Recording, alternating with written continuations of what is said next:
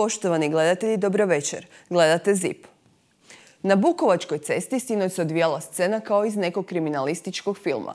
Glavni akteri, provalnik u automobil, te muškarac koji ga je u tome pokušao spriječiti, ali ga je provalnik ranio hicem iz vatrenog oružja. Epilog svega je da je provalnik uhićen, a muškarac, inače djelatnik čistoće, operiran i izvan životne opasnosti. Dok je s prijateljima sjedio u kafiću, gospodin Sveto nije ni slutio kakva se drama događa vani, oko njegova automobila. Izišli van i vidim da je razbijena, evo vidite.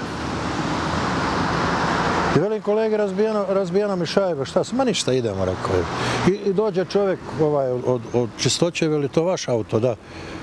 Pa kaže, joj, pa moj kolega je upucan. Koji kolega, šta, već policija tu Policija je došla čim je u 18 sati i 40 minuta zaprimila dojavu da je jedan građanin ozlijeđen vatrenim oružjem, a ozlijeđen je 34-godišnji muškarac, djelatnik čistoća, koji je počinitelja htio spriječiti u provali u automobil. On je bježao i jedan 34-godišnjak ga je sustigao. Međutim, e, fokusira na sami taj bijeg, počinitelj je vatrenim oružjem ranio, znači muškarca koji ga je sustigao. I dalje se udaljio, odnosno nastavio bježati.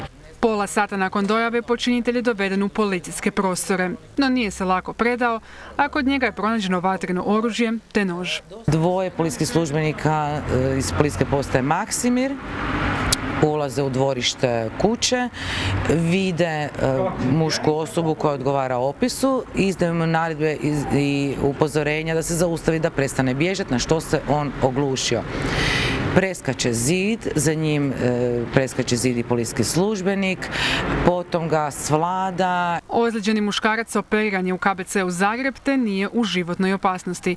Posjetio ga je gradonačelnik Bandić kojemu je čestitao na hrabrosti. Otići u bolnicu i pogledati e, čovjeka e, koji je hrabar, koji je ranjen zahvaljujući nesebičnom pomoći da se e, spriječi krađa automobila i zaštiti imovina našeg sugrađanina. Posjetiti mladog heroja planira i vlasnik automobila, koji na ovaj slučaj gleda kao na pokušaj ubojstva, te smatra da bi počinitelj takvu kaznu trebao i dobiti. Predsjednik vlade Andrej Plenković smijenio je ministra zdravstva Milana Kujundžića, a na njegovo mjesto predlaže Vilija Beroša. Kujundžić je, vjerovali ili ne, 14. ministar koji je otišao iz aktualne vlade. Što o tome kažu Zagrebčani? Što misle o vladi koja ministra mijenja brže nego neki čarape, a koju masovno podržavaju saborski zastupnici, koji su pak na Markov trg došli kao čvrsta oporba HDZ-u? Pogledajmo, slijedi glas Zagrebčana.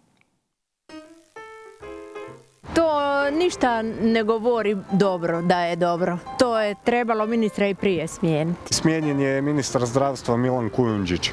Pa to je već sad 14. ministar koji je ili smijenjen ili je otišao iz ove vlade. E, što vama to govori, kako vi s obzirom na to gledate na ovu vladu? Na ovu vladu gledam kao na lapiće, lopove. Nema ni jedan pošteni... A kako, kako gledam? Gledam e, propast. Narod e, slabo plaćen, odnosno mi građani koji moramo sve ispaštati, a oni se samo kapitalom bore i kapitale uzimaju. Drugo ništa. A to činjenice, to se vidi. Da treba mijenjati, da. Da li je vlada Jeste zadovoljni ovom vladom? Ne, ne, nisam zadovoljan. Jer ne mogu ni biti na ovakvom sistemu kod koji ljudi kopaju po kontejnerima, nemaju šta jesti, a ovi se razbacivaju sa kapitalom. I to ne malim, nego velikim. Govori mi to da uopće, općenito vlada ne valja ništa. Kratko, jasno. Pa svi imaju to, taj problem, koliko ja vidim. Ali njega su sad smijenili, a ovi prije su isto imali probleme kad nisu. Svi, svi, svi ministri osim Plenkovića, ja mislim da on još siroće nekak nepošteni. Kaj nije tako. Ja razmišljam o, o sljedećoj stvari. Mi smo totalno neorganizirana država i nakon ovako ovih e, smjenjivanja jednog pa drugoga to je sramota. Sramota za nas za, kao državu. Prema tome, nek rade šta hoće, samo narod je užasno ogorčen. A nemam ništa lijepo za reći za ovu vladu. E, a za ministra mi jako zdravo, e, jako drago. Nemam uopće komentara na to. Nemam komentara, to je od 90. se to događa. S tim ministrima i to. Tako da je to to. Mislite da je on trebao biti smijenjen? Da. Ne samo on, koliko je smijenili? 14, ne? A bivše vlade, bilo koja vlada je smjenjivala. I dok je Tuđman bil, i Račan dok je bil, svi, svi, i Milanović, svi. Sanader isto. Tako da, mladi moraju doći. Gotovo. Mi stari nismo više za to. U svakom slučaju nije dobro. E, ali je dobro da javnost troši pritisak i ukoliko ovaj, se nađu razlozi da ovaj, ministar bude kompromitiran, da se smijeni. Tako da mislim da je to u redu. Zbog sanacije puknuća magistralnog vrelovoda, do sutra ujutro obustavljena je isporuka toplinske energije u naseljima Gredice, Srednjaci, Staglišće, Gajevo, Jarun i Vrbani. Do puknuća je došlo zbog starosti vrelovodne mreže i korozije cijevi uzrokovane izljevanjem oborinskih voda, pomješanih sa sredstvima kojima se zimi tretiraju kolnici. Navodi se u priopćenju HEP toplinarstva. Glavnina radova sanacije puknuća vrelovoda na lokaciji Horvaćanske ceste kod nebodera Braće Domani provodit će se tijekom noći. Simbolično, 1. veljače u subotu, kad kreću više struko veće cijene odvoza otpada, brojne civilne i aktivističke udruge te Bandićeva oporba organiziraju još jedan prosvjed protiv njega, ovaj put pod sloganom Dosta je. Neki bi rekli okomilo se. Bog svima, ja sam Remi i htjela bi vas sve pozvati 1. veljače u 16 sati na trg Bana Jelačića na prosvjed Dosta je protiv naravno našeg omiljenog Milana Bandića, jednog i jedinstvenog. Svakog gosta, skoro 20 godina, dosta! Osim popularne Remi i njenog benda Elemental, podršku prosvjedu protiv Bandića dalo je nekoliko bendova, poput zagrebačkih Darkara, Fantazmogorije.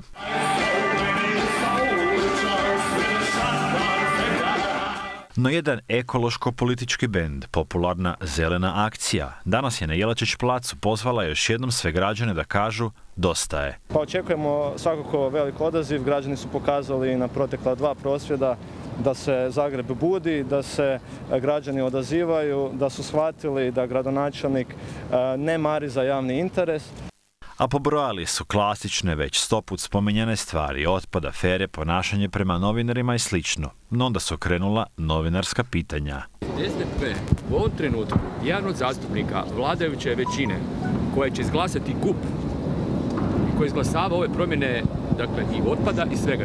Dakle, radna većina u Skupštini koja donosi sve ove zakone. Jedan, a taj jedan je 26. je SDP-ov. Dakle, očekujete li da SDP Kakvu podršku očekujete od gradskog SDP-a za vaše da konačno makne zastupnika i stavi drugoga i sruši tu Bandićevu većinu? Pa odgovor je isti kao i za HDZ. Dakle, očekujemo od gradskih zastupnika da ne podrže ovakav gup. No prozvani Radenko Tomić iz SDP-a pretrčao među vremenu u Bandićevu stranku, a Bandić je prvo optuženi u aferi Agram. Za njega pitanje danas je kolumnist večernjeg je jučer rekao da zapravo upravo ovakvi prosvjedi bi mogli ići na ruku njegovim odvjetnicima koji će reći u krajnjoj presudi, ako će do nje doći, da eto, upravo ovoj prosvjedi, donošenje presuda, dve, tri godine na televizijskim i zapravo pritisak na pravosuđe ako je to pritisak da pravosuđe odradi svoj posao, onda je dobrodošao pritisak. Skupštinski zastupnici glasa žele uvesti reda u organizaciju adventa u Zagrebu, ali i regulaciju prometa u glavnom gradu, točnije u postavljanje takozvanih ležećih policajaca. Svoja dva prijedloga uputili su skupštinsku proceduru za sjednicu na rasporedu 6. veljača.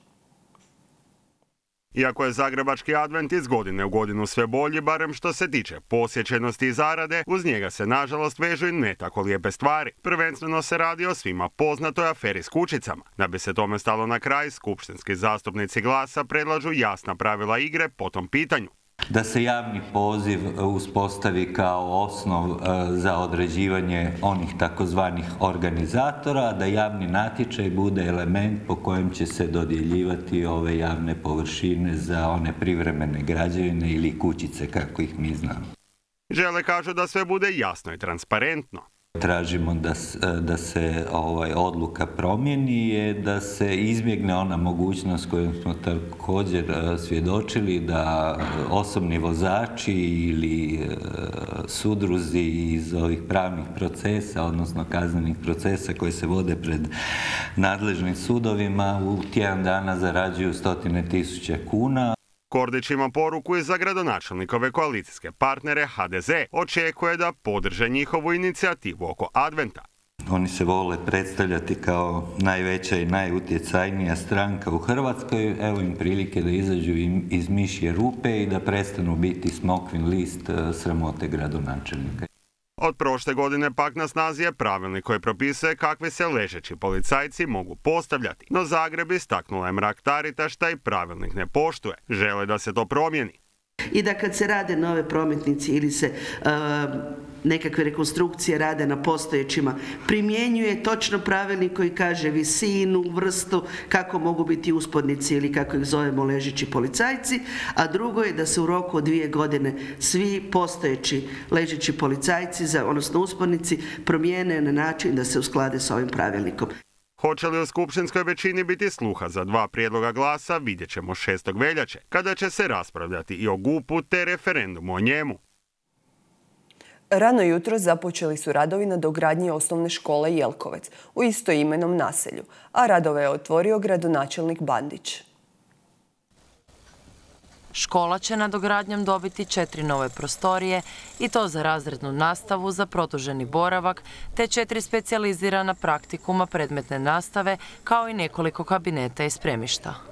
Na taj način ćemo eto uspješno vratiti učenike koje smo morali raseliti na dva lokacije kako bi mogli realizirati nastavni plan i program. A gradonačelnik Bandić naglasio je kako bi se Jelkovec danas mogao nazvati Jelkovec City koji ima osnovnu školu s 1250 kvadrata, srednju školu, dječji vrtić, sportsku dvoranu, bazen i 12.500 stanovnika. Investicija teška, rekao sam, 22,5 milijuna kuna, rok je 7 mjeseci. Vidimo se za 7 mjeseci kada ćemo blagosloviti otvaranje dograđene škole Jelkovec. Komentirao je i sve veće nezadovoljstvo Zagrebčana njegovim načinom vođenja grada. U Jelkovec City je situacija dobra, ali u Zagreb City čini se kako građani ponovo pripremaju nekakve prosvjede protiv vas, to je demokracija, ali što kao vi kao gradonačelnik kažete na sve češće negodovanje građana? Pa ne bi ja to komentirao, uvijek neko prosvjeduje, neko delo. Ništa se u Zagrebu nije napravilo da neko nije bio protiv. U nastavku vijesti pogledajte naše ostale priloge. Seizmološka služba objavila je informaciju o potresu umjerene jačine s epicentrom kod Marije Bistrice, 20 km sjeveroistočno od Zagreba. Magnituda potresa iznosila je 3,4 prema Richteru, a intenzitet u epicentru 4 do 5 stupnjeva Merkali Kankani Sibergove ljestvice. Potres se osjetio u Zagrebu i okolici.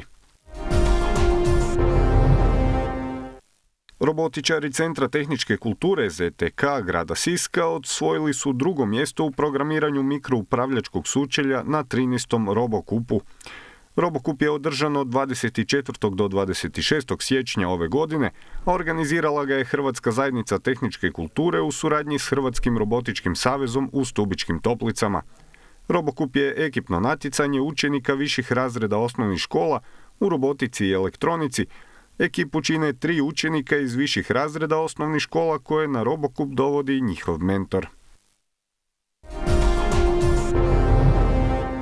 Ravnatelj razvojne agencije Zagrebačke županije Stipo Velić potpisao je ugovore o dodjeli potpore za samozapošljavanje u iznosu od po 35.000 kuna s 19 nezaposlenih osoba s područja Zagrebačke županije koji su se koncem prošle godine javili na javni poziv agencije. Riječ je o javnom pozivu u sklopu projekta lokalne inicijative za poticanje zapošljavanja faza 3 pod nazivom Nova prilika lokalno partnerstvo za zapošljavanje Zagrebačke županije subfinanciranom iz Europskog socijalnog fonda kojeg razvojna agencija provodi u suradnji s partnerima Hrvatskim zavodom za zapošljavanje i Obrtničkom komorom Zagreb. U Zagrebu je otvoren prvi simulacijski medicinski centar na primarnoj razini, koji je rezultat suradnje svih domova zdravlja u metropoli i Nastavnog zavoda za hitnu medicinu. Svrha osnivanja simulacijskog medicinskog centra je povećanje znanja, vještina i stjecanje iskustva medicinskih stručnjaka i zdravstvenih djelatnika koji svoje usluge pružaju u okvirima primarne zdravstvene zaštite. Ovo je, bar kad je u pitanju primarna zdravstvena zaštita, e, da će sasvim sigurno jedan novi iskorak edukaciji e, mladih liječnika koji izlazeći sa medicinskih fakulteta nemaju dovoljno znanja i vještina. Medicinsko znanje naime udvostručuje se svakih pet godina, tako da će ovaj program biti odličan i za već iskusne liječnike. Ovo je vrlo, ja bih rekao, vrijedan projekt. Zašto? Jer on može kontinuirano učiti nove kadrove koji su vezani u zdravstvu, neovisno o profilu kojih se zdravstvenih djelatnika radi, znači od medicinskih sestara, tehničara pa sve do liječnika. I onda se te, ta znanja mogu i obnavljati, jer vi, mi smo svi ljudi koji smo podložni ponekad i zaborovu, pogotovo ako neke stvari ne radimo iz dana u dan. Učenje će se provoditi u vjerodostojnom kliničkom ambijentu, a najviše radi postupaka oživljavanja kod kardiovaskularnih bolesnika, kojih je najviše u Hrvatskoj i gdje se u slučaju oživljavanja dobrom intervencijom mogućnost preživljavanja povećava od 2 do 4 puta. Također se treba simulirati životna situacija, nije samo znači vježbanje vještina, rad na e, lutki koja mrtva tamo leži.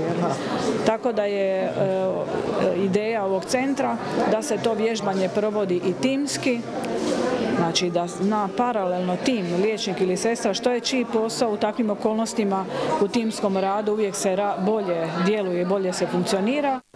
Grad Zagreb u ovaj projekt uložio je 500 tisuća kuna. Počeli smo sa primarnom zdravstvenom zaštom, e, da će gradski zdravstveni sustav imati e, potpuno e, jednu novu kvalitetu, bar što se tiče edukacije liječnika. U sljedećim minutama putujemo u prošlost. Manifestacija Seljačka buna pokazat će vam kako je Matija Gubec pokrenuo Seljačku bunu, kako je izgledala bitka kod Stubice i kako je izgledao život ondašnjeg naroda. Ovako je izgledala seljačka buna 1573. godine. Zapravo, ovo je vjerodostojan prikaz davne bitke kod Stubice, čija vika se i dalje ori zagorskim bregima kao spomen ustanka seljaka u borbi za pravicu. Ovogodišnja 12. seljačka buna počinje 31. siječnja, a traje do 8. veljače, kada završava velikom bitkom kod Stubice. 8.2. E, iduću subotu će se održati seljačka buna u našoj Donjoj Stubici. E, program kreće već u 9 sati 30 minuta sa 50. planinarskim pohodom staza Gubčevih puntara. E, od 11 sati program u samom centru Donje Stubice e, sa srednovjekovnim sajmom e, i zabavnim programom. U 12 sati se seljaci počinju okupljati kod crkve Presvetog Trojstva, a u 13.30 se u povrci kreće prema Stubičkom Golubovcu gdje će se održati spektakularna bitka kod Stubice. Grad Zagreb nije se oglušio biti partnerom prezentacije o ovom povijesno važnom događaju. Besplatne zetove linije vozit će od Zagreba do mjesta održavanja manifestacija, a uz to grad Zagreb novčano pomaže organizaciju kako bi manifestacija, koja iz godine u godinu broji sve veći broj posjetitelja, bila što vjerodostojnija. Pozivam sve sugrađane da osmoga ispred eh, pothodnika gdje će biti busevi za Zagorje, koliko bude ljudi htjelo ići u Zagorje, toliko će biti buseva. Mi ćemo organizirati cijeli dan do pola deset na večer prevoz i gore kad doći u Zagorje, naprobati škropec i dobru klopu, to ne bi bilo dobro. Prema tome imate javni prevoz, svi koji budu išli mogu si neka ispiti, pojesti i mirno se vratiti doma sa javnim prevozom da nemaju nikakvih, da nemaju nikakvih problema. Svi posjetitelji Seljačke bune bit će u prilici osjetiti život ondašnjeg vremena. Manifestacija iz godine u godinu broji sve veći broj posjetitelja. Odlična predstava, zabava i glazbeni program privlače sve zaljubljenike u povijest. Ne sumnjamo da će se i ove godine građani grada Zagreba uputiti i pogledati bitku kod Stubice. U proteklih 19 godina Naj Naj festival pozicionirao se kao nezaobilazno mjesto na karti kulturnih manifestacija za djecu – 20. jubilarni festival posvećen je velikom društvenom problemu, vršnjačkom nasilju. Kroz njega će se realizirati veliki donatorski projekt na najjače protiv vršnjačkog nasilja. Stoga i započinje na simboličan datum, 26. veljače, na dan ružičastih majca. Naj Naj Naj festival 2007. godine postao je međunarodni festival. Domaća konkurencija time je obogaćena novim, drugačijim pristupima kazališnoj umjetnosti, koju su svojim predstavama donijela kazališta iz Europe i svijeta. Ove godine festival je uvršten u širi projekt na najjače protiv vršnjačkog nasilja. Nekoliko predstava tako tematizira teme nasilja među djecom i mladima. Imamo nekoliko predstava koje baš tematiziraju vršnjačko nasilje, a imamo i predstave normalno za druge uzraste jer je to naš redovni festival. Sav prihod će biti namijenjen školama u Republici Hrvatskoj koji imaju dobre i uhodane razvijene projekte borbe protiv vršnjačkog nasilja. Istraživanja su porazna i pokazuju da svako četvrto dijete u hrvatskim školama na dnevnoj bazi trpi neki oblik nasilja, a svako drugo od njih je žrtva nasilja preko interneta. Cilj ovog projekta je glasno progovoriti o ovom velikom društvenom problemu, senzibilizirati javnost i sve institucije koje se bave djecom, kako bi se zajedničkim snagama pomoglo djeci koja školske dane provode u začaranom krugu nasilja. Ja sam delegirala svoju mladu psihologicu, uključila sam se i ja, ali ono što je najvažnije, uključio se odbor mladih Poliklinike za zaštitu djece i mladih grada Zagreba, koji iz prve ruke su mogli dati glumcima svoje iskustva i e, zapravo svoje, autentično viđenje bulinga i posljedice posljedica bulinga. I mislim da je to značajno doprinjelo predstavi. Kad sam predstavu pogledala, bez obzira koliko radim sa žrtvama bulinga, a radim dugo, više od 30 godina, zaista sam se rasplakala jer me podsjetila na mnoge moje slučajeve. Na ovom festivalu kazališne predstave i radionice upozorit će djecu i mlade na probleme vršnjačkog nasilja u društvenoj sredini u kojoj žive, probuditi empatiju i naučiti ih solidarnosti sa slabijim i drugačijim.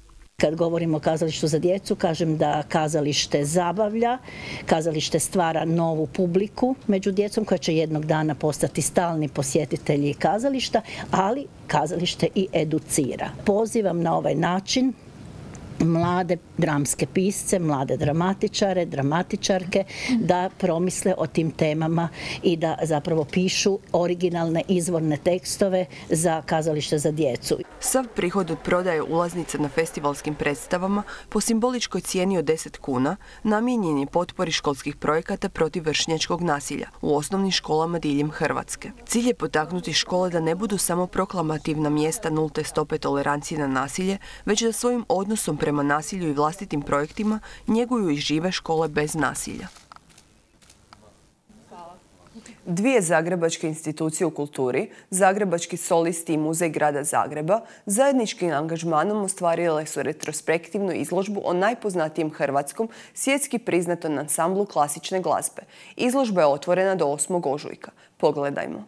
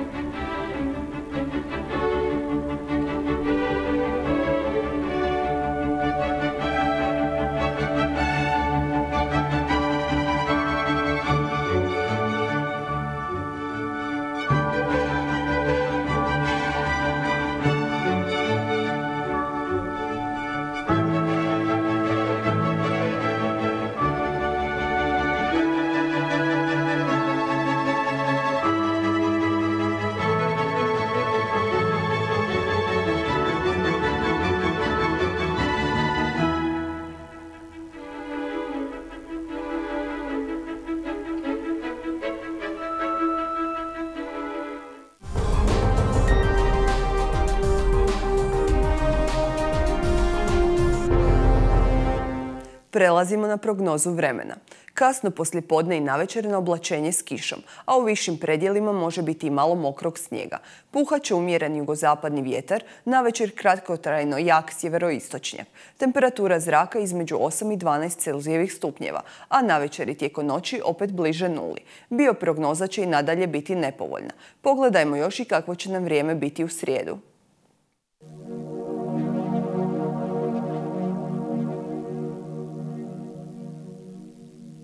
U Zagrebu će prevladavati većinom suho i djelomično sunčano. Vjetar većinom slab sjeverozapadni. Najniža jutarnja temperatura zraka od minus 1 do 2, a najviša dnevna između 9 i 11 Celzijevih stupnjeva. Bioprognoza će tijekom cijeloga dana biti povoljna.